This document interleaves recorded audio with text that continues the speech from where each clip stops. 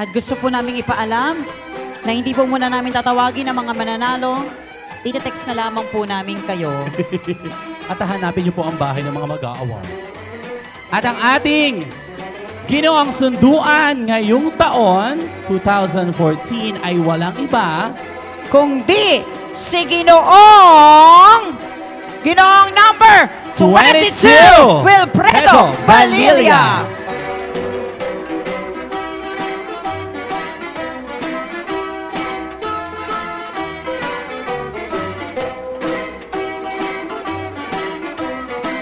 Talaga nga namang napakagwapo ni ah, Ginoong number 22.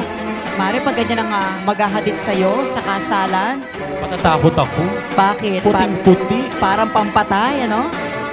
Pero napakaganda. Ayan. Congratulations to ating ginoong sunduan, ginoong number 22, ginoong Wilfredo Balilia. Ayan. Pag ganyan ang susundo sa'yo, baka sinusundo na tayo. Napaka, sasama ako. Sasama ka? Sasama ako. Kahit sa kaliwa? At syempre, ang susunod ay ang ating Binibining Sunduan 2000. Maraming salamat po, Vice. 2014. Tawagin natin, of course, ang ating pinakamamahal na Mayor Boyet Inares. Ayan, kasama kanyang, ah, ang ating unang ginang, ng bayan ng Binangonan. Ang dami LV Inares. Inares. Ayan. At syempre, si Binibining ah, Teresa Joyce Sanchez.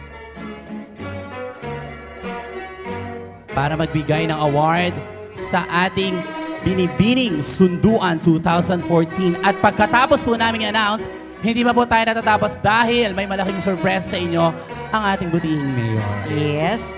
Ang ating pong binibining sunduan 2014 ay magkakamit ng 10,000 pesos. Plus a sash and a crown and a bouquet of flowers. At ang ating binibining sunduan 2014 ay nakuha ni binibining number Sinong gusto nyo? Binibining number Binibining 24! Mara Riza Riza Lobarbio.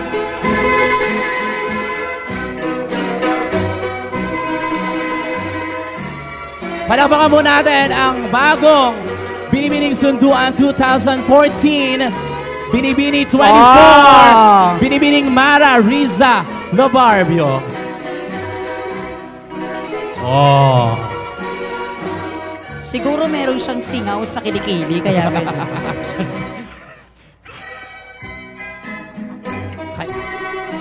Siya po ay mula sa barangay Pilibiran. Nagkakamali. Ayan. At si ah, Ginoong Sunduan ay mula sa barangay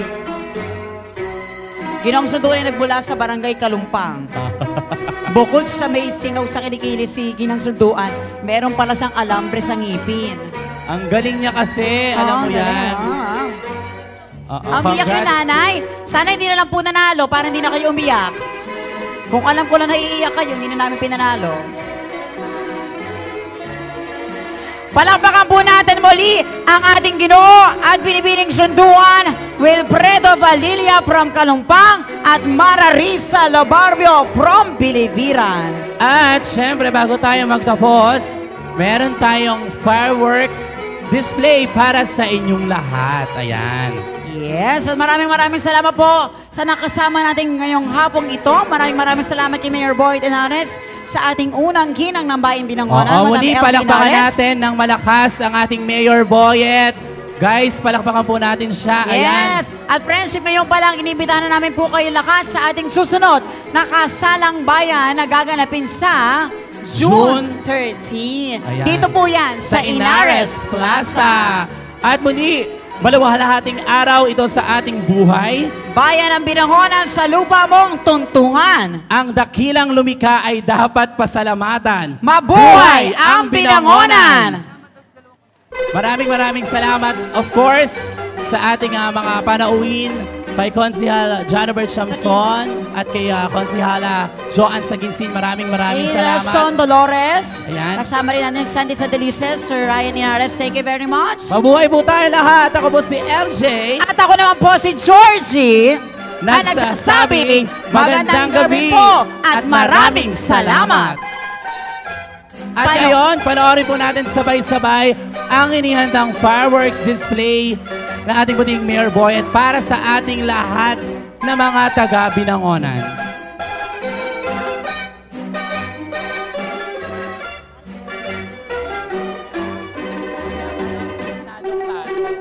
Yung mga cash prize po ng ating mga winners, punta po tayo kay Tita Aya.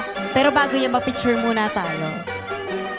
Kakabugin ko lang tong may ano sa kilikili.